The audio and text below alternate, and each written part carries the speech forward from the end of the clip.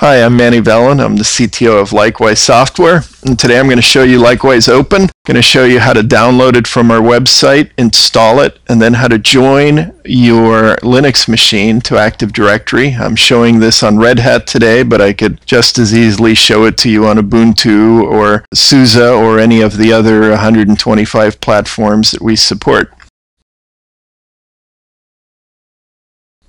So to get started, the first thing that you want to do is go to the Likewise Software web page, and as you can see on our home page, we can download Likewise Open from here. And it's going to ask you for some registration information.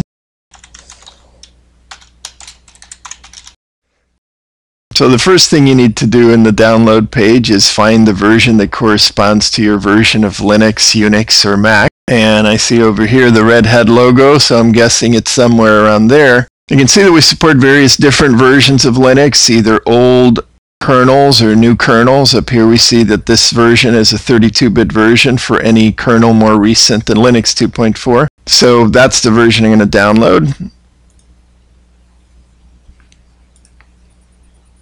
And you'll see that there's an optional package here to download as well, which is the graphical domain join utility. I'm going to go ahead and download that as well.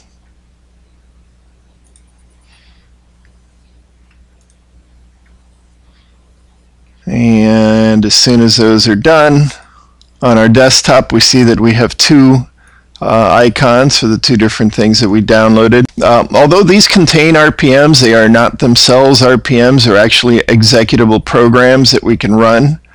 And first thing I have to do is I have to make them executable. And of course I can do that from the desktop, but it's also uh, just as easy to uh, do it from the command line if you know how to do a chmod program. So let me do this to both And now that I've made them executable, let's first start off by installing likewise open itself. So I'll double click on that. That will take me through a graphical installer. And by the way, for some of our other platforms, we have some non-graphical installers, and typically Solaris, AIX, HPUX are frequently running without any graphical subsystem at all. These same installers will also work in character mode if they detect that there is no graphics manager running. Okay, so the setup of the main application is completed. Now let's also install the other package, which is the graphical domain join utility. And once again, we go through the same steps.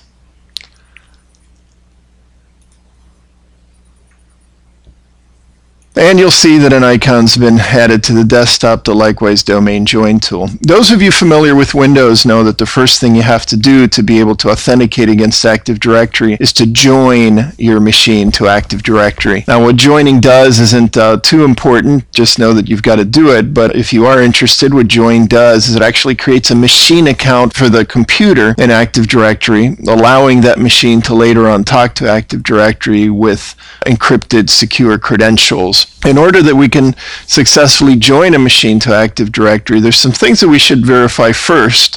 One is we have to know what domain we're going to join the machine to, and one we should make sure that the Unix or, or uh, Linux or Mac machine can actually talk to that domain. So I'm going to do a couple of commands here. First of all, I'm going to use nslookup and I'm going to make sure that my machine is properly configured so that it can resolve my domain. The domain I'm going to join is likewisedemo.com. If you do nslookup and you get an error that it can't resolve the address, the first thing you have to do is you have to fix your network configuration to make sure that your computer can resolve the domain name. In this particular case, this computer has been set up so that its DNS uh, is already pointing at Active Directory, so it uses Active Directory directory for its name resolution, which uh, simplifies things greatly. The next thing that you should do is to verify that you can uh, actually send packets to that address. And if I uh, ping likewise demo similarly, it should work as you can see here. And if that were to fail,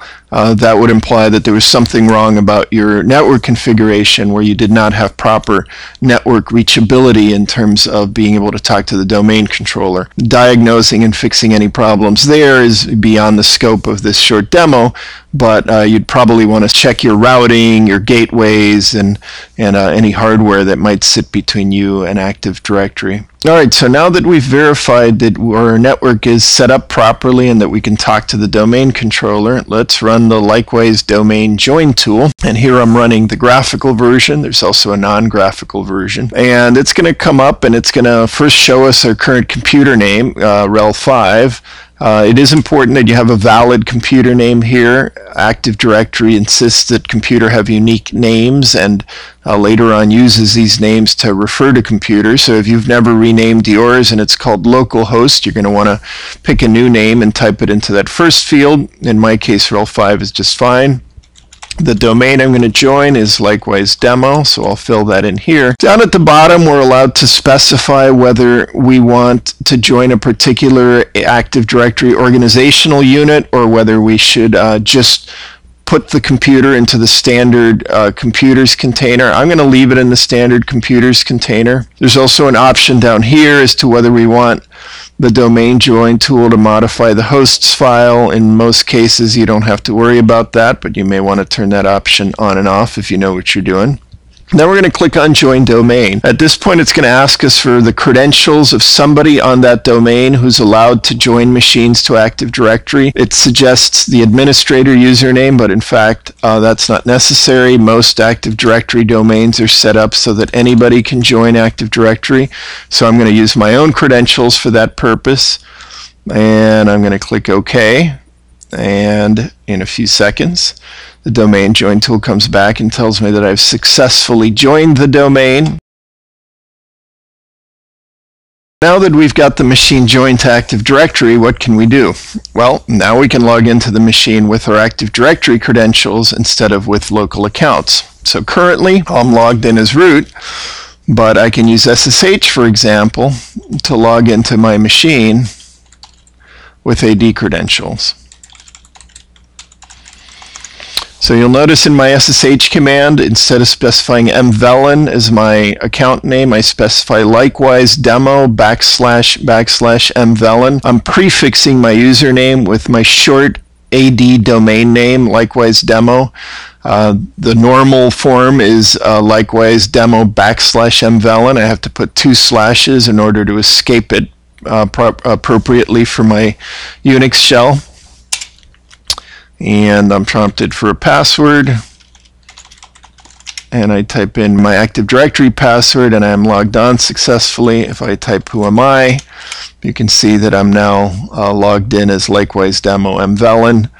Uh, my directory is uh, has been created for me and as you can see uh, it's created with the uh, appropriate uh, username and group as owning it.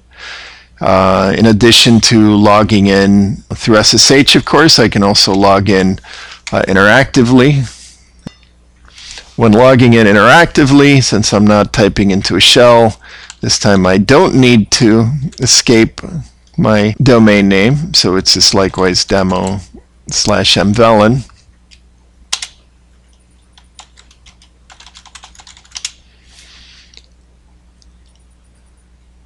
And you can see that I've uh, logged in uh, that way as well. So one other thing is now that I've logged in successfully with my Active Directory credentials, uh, the other thing that Likewise Open has done, in addition to enabling AD-based authentication, it's set up SSH uh, to perform single sign-on. So now that I have valid AD credentials, if I log into um, my own machine again, this time you see I'm not prompted for credentials at all because SSH is what's called a Kerberos aware application and it can reuse my credentials without uh, any password prompting. As you can see, I'm still likewise demo mvellon. That's a lot easier than trying to redistribute keys and use key-based authentication with SSH. So that's the uh, short demo of how to use uh, Likewise Open for authenticate against, against Active Directory. In addition to Likewise Open, Likewise Software also has a separate product called Likewise Enterprise, which adds additional features uh, beyond authentication. It adds group policy and other features that uh, let you better control your UIDG assignment uh, in Unix. So for more information, please go to www.likewisesoftware.com. Thanks.